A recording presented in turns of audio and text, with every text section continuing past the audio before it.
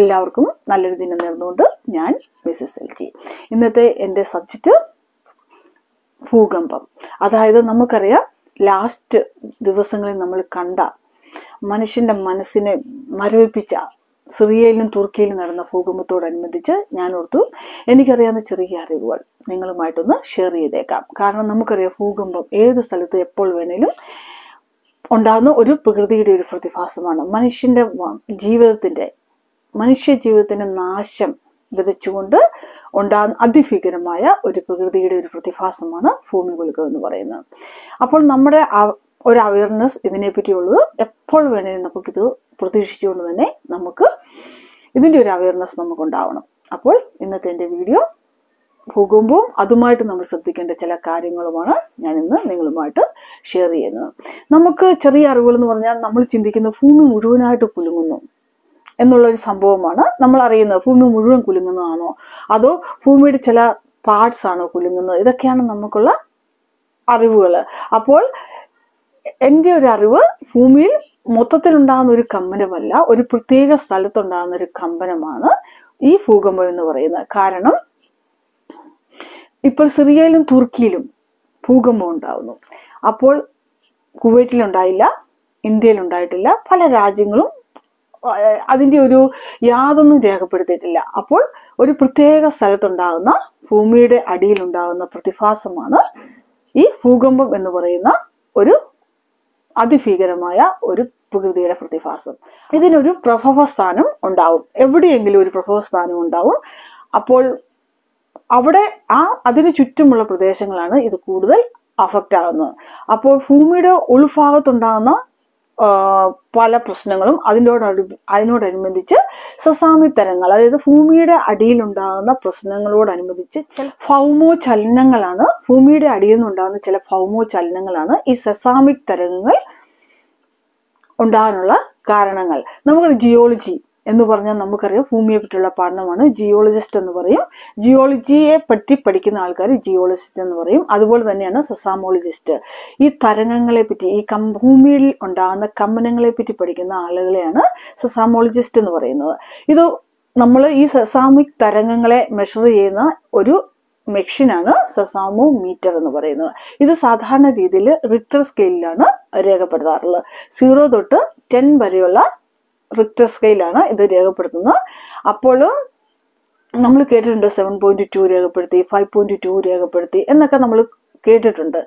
അപ്പോൾ ഇതിന്റെ ഒരു തീവ്രത കൂടുന്നതനുസരിച്ച് ഇതിന്റെ തീവ്രത കൂടുവാണ്. സാധാരണ രീതിയിൽ zero to two two to four ഇതൊക്കെ സാധാരണ രീതിയിൽ നടക്കുന്ന ചില തരംഗങ്ങളാണ്. പക്ഷേ അതിന് മുകളിലോട്ട് ഫൈവയുടെ മുകളിലോട്ട് ഫൈവ് വെക്ടർ സ്കെയിലിന് മുകളിലോട്ട് വന്നു കഴിഞ്ഞാൽ ഇത് പതിയെ പതിയെ പതിയെ ഒരു ടെറിഫയിങ് അവസ്ഥയിലേക്ക് കൊണ്ടുവരികയാണ്. ചെറിയ ചെറിയ പ്രശ്നങ്ങളൊക്കെ ഉണ്ടാക്കി മുന്നോട്ട് പോവുകയാണ്. Five five point two five point six എന്നൊക്കെ പറയുമ്പോഴത്തേനും ചെറിയ ചെറിയ പ്രശ്നങ്ങൾ അതായത് ഉറപ്പില്ലാത്ത വീടുകളും സുരക്ഷിതമല്ലാത്ത കെട്ടിടങ്ങളും അതുപോലെ തന്നെ ഭൂമിയുടെ മുകളിലിട്ട് നിൽക്കുന്ന വേരുകളൊക്കെ വേരുകളില്ലാത്ത അതി പിന്നെ ആഴത്തിൽ വേരുകളില്ലാത്ത മരങ്ങളൊക്കെ താഴെ വീഴാൻ സാധ്യതയുള്ള ഒരു സംഭവമാണ് ഈ ഭൂമി കുലുക്കം എന്ന് പറയുന്നത്. പെട്ടെന്ന് തന്നെ ഈ റിക്ടർ സ്കെയിൽ താഴെയാണെങ്കിലും വിണ്ടു കീറുക അങ്ങനെയൊക്കെയുള്ള സംഭവങ്ങളൊക്കെ ഉണ്ടാവുന്നു നോർമലാണ് നമ്മൾ കേട്ടിട്ടുണ്ട് മനുഷ്യനിർമ്മിത ഭൂകമ്പം. അതായത് ഈ ന്യൂക്ലിയർ പരീക്ഷണത്തിനോടനുബന്ധിച്ച് സാധാരണ രീതിയിൽ ഭൂമിക്കടിയിൽ ഗർത്തമുണ്ടാക്കിയിട്ട് അതിനിടയിൽ അതിനിടയിലാണ് സാധാരണയാണ് സാധാരണയായിട്ട് ന്യൂക്ലിയർ പരീക്ഷണങ്ങൾ നടത്തുന്നത്. നമുക്കറിയാം ഉത്തര കൊറിയ പോലെയുള്ള രാജ്യങ്ങൾ. ലോകമായിട്ട് യാതൊരു കണക്ഷനും വെക്കാൻ ആഗ്രഹിക്കുന്ന ചില രാജ്യങ്ങളിൽ ന്യൂക്ലിയർ പരീക്ഷണം നടത്തിയ നമ്മൾ അറിയുന്നത് ഭൂമിക്കടിയിലുള്ള ഈ മാറ്റങ്ങൾ കണ്ടിട്ടാണ്. ഈ ഭൂമിക്കടിയിലുള്ള ഈ തരംഗങ്ങളുടെ വ്യത്യാസവും ഭൂമിക്കടിയിലുള്ള ടെക്ടോണിക് പ്ലേറ്റ്സിന്റെ വ്യത്യാസങ്ങളൊക്കെ മനസ്സിലാക്കിയിട്ടാണ് സാധാരണ രീതിയിൽ ന്യൂക്ലിയർ പരീക്ഷണം അവിടെ നടത്തിയിട്ടുണ്ടോ ഇല്ലയോ എന്ന് നമ്മൾ ലോകം അറിയുന്നത്. അപ്പോൾ സാധാരണ രീതിയിൽ ഈ ഭൂമിയെ വേർതിരിച്ചിരിക്കുന്നത് നാല് ലെയർ ആയിട്ടാണ്. അതായത് inner core outer core mantle crust എന്ന് പറഞ്ഞ നാല് ലെയർ ആയിട്ടാണ് ഭൂമിയെ ഡിവൈഡ് ചെയ്തിരിക്കുന്നത്. അവിടെ തന്നെ നമ്മൾ ചിന്തിക്കും ഭൂമിയെ കണ്ടു കഴിഞ്ഞ് കഴിഞ്ഞാൽ ഒരു മുട്ടയുടെ തോൽ പോലെയാണോ? അല്ലെങ്കിൽ മുട്ടയുടെ തോട് എങ്ങനെയാണ് ഇരിക്കുന്നത്? അതുപോലാണോ? ഭൂമി ഇരിക്കുന്നതൊക്കെ നമ്മൾ ചിന്തിക്കും. പക്ഷെ അങ്ങനെയല്ല. ഇത് പല പാളികളായിട്ടാണ്. ഇതിന് ടെക്ടോണിക് പ്ലേറ്റ്സ് എന്നാണ് പറയുന്നത്. സാധാരണ രീതിയിൽ ഇത് ഏഴ് വലിയ പാളികളാണ്. ഏഴ് വലിയ ടെക്ടോണിക് പ്ലേറ്റ്സ് ആയിട്ടാണ് ഭൂമിയെ അടുക്കി അടുക്കി വെച്ചിരിക്കുന്നത്. അതായത് ഈ പാളികൾ തമ്മിൽ തിങ്ങി ഇങ്ങനെ നീങ്ങി നിറ നീങ്ങി നിറങ്ങുകയും അതുപോലെ തന്നെ ആ നീങ്ങി നിറങ്ങുമ്പോൾ ഉണ്ടാകുന്ന ഫ്രിക്ഷൻ എനർജിയൊക്കെ നമുക്ക് ഊഹിക്കുന്നതിനും അപ്പുറമാണ്. കാരണം നമുക്കറിയാം ഭൂമിയുടെ അടിയിൽ ഈ പ്ലേറ്റ്സുകളൊക്കെ അടിയിലുള്ളത് തിളച്ചു മറിയുന്ന ലാർവയാണ്.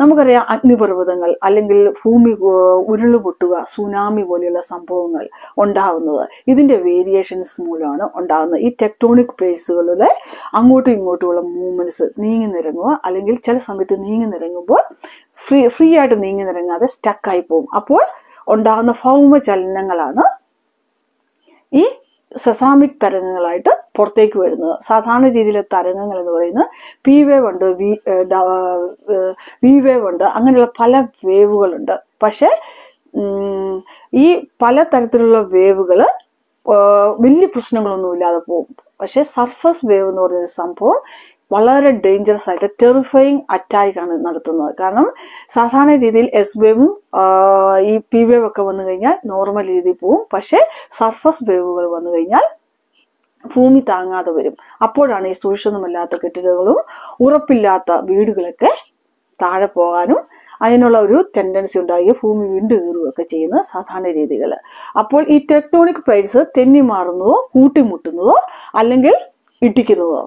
അപ്പോൾ ഉണ്ടാകുന്ന ഒരു പ്രതിഭാസം ഈ തരംഗങ്ങൾ സൃഷ്ടിക്കുന്നു എന്നുള്ളതാണ്. ഇതിന്റെ ഏറ്റക്കുറിച്ചിലുകളാണ് ഈ തരംഗങ്ങൾ സൃഷ്ടിക്കാൻ മെയിനായിട്ടുള്ള കാര്യങ്ങൾ. അപ്പോൾ നമ്മൾ തിരിച്ചറിയേണ്ടത് നമ്മൾ ഈ സമയത്ത് നമ്മൾ എടുക്കേണ്ട ചില കരുതലുകളുണ്ട്. സാധാരണ രീതിയിൽ നമുക്കറിയാം വളരെ രീതിയിൽ വളരെ രീതിയിൽ എഫക്റ്റ് ആകുന്ന രണ്ട് മൂന്ന് രാജ്യങ്ങളുണ്ട്. അതായത് അൺസ്റ്റേബിൾ പ്ലേറ്റ്സ് ആയിട്ട് നിൽക്കുന്ന ഇന്തോനേഷ്യയും ജപ്പാനും. എപ്പോഴും ഭൂമികുലുക്കം ഉണ്ടായാൽ ആദ്യം എഫക്റ്റ് ആകുന്നത് ജപ്പാനിലും ഇന്തോനേഷ്യയിലാണ്. അതുപോലെ തന്നെ നമുക്കറിയാം വളരെ ടെറിഫയിങ് ആയിട്ടുള്ള വേവ്സ് ഉണ്ടായത്.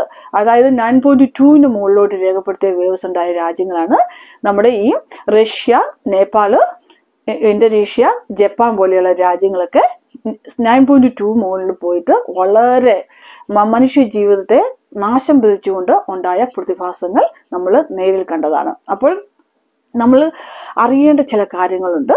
ഈ സമയത്ത് നമ്മൾ ഏറ്റെടുക്കേണ്ട ചില കാര്യങ്ങളുണ്ട്. ഒന്നാമത്തെ തന്നെ നമ്മൾ പല നിലകളിൽ നമുക്കറിയാം കൂടുതൽ നിലകളുള്ള വീടുകളിൽ താമസിക്കുന്ന ആൾക്കാർ ഈ എർത്ത് വേക്കിന്റെ ഒരു എഫക്റ്റ് വന്നാൽ ഉടനെ ഇറങ്ങി ഓടുക എന്നുള്ളതാണ് നമ്മൾ ചെയ്യേണ്ടത്.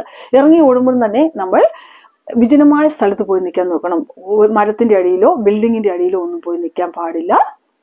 നമ്മൾ വളരെ സുരക്ഷിതമായിട്ട് ഇറങ്ങി ഓടാൻ നോക്കുക. ഇറങ്ങി ഓടാൻ പറ്റാത്തവർ നമ്മൾ സാധാരണ രീതിയിൽ ടേബിളൊക്കെ നല്ല കട്ടിയുള്ള ടേബിളൊക്കെ ഉണ്ടെങ്കിൽ അതിന്റെ അടിയിൽ നമ്മൾ അഭയം പ്രാപിക്കുക എന്നുള്ളതാണ് നമുക്ക് ചെയ്യാൻ പറ്റാവുന്ന ഏറ്റവും സുരക്ഷിതമായ പ്ലേസ് അപ്പോൾ തന്നെ നമ്മൾ ചിന്തിക്കുക നമ്മുടെ വീട്ടിലുള്ള പില്ലോകൾ അല്ലെങ്കിൽ ബ്ലാങ്കറ്റ് ഒക്കെ എടുത്ത് നമ്മുടെ തലയും നമ്മുടെ കഴുത്തിനെയൊക്കെ പ്രൊട്ടക്റ്റ് ചെയ്യുക എന്നുള്ളത് വളരെ ഇമ്പോർട്ടന്റ് ആയിട്ടുള്ള മാറ്ററാണ് പിന്നെ എന്നാന്ന് ചോദിച്ചു കഴിഞ്ഞാൽ ഈ ഇലക്ട്രിക് വയർ ഗ്യാസ് എന്നിവയൊക്കെ നമ്മുടെ അടുത്തുണ്ടെങ്കിൽ അതിൽ അതിന്റെ അടുത്തേക്ക് പോകാതിരിക്കുക. ഒരു നിലയുള്ള വീടിനേക്കാളും രണ്ട് നിലയുള്ള വീടുകളാണ് കൂടുതൽ ഭൂകമ്പം എഫക്റ്റ് ആകുന്നത്. അപ്പോൾ നമ്മൾ അങ്ങനെ ശ്രദ്ധിച്ച് നമ്മൾ അതിനെ മാനേജ് ചെയ്യാൻ നോക്കുക. നമുക്കറിയാം ഈ ഭൂകമ്പം പ്രോൺ ഏരിയയിലൊക്കെ അവർ ആ രീതിയിലാണ് വീട് നിർമ്മിച്ചിരിക്കുന്നത് നമുക്ക് കാണാൻ പറ്റും.